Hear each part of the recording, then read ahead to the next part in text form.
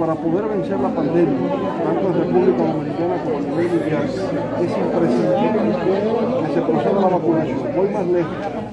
Hay que acelerar el proceso de vacunación porque el virus tiene una capacidad de mutación y con la mutación aparecen nuevas variantes y las variantes que han surgido resultan ser muy peligrosas.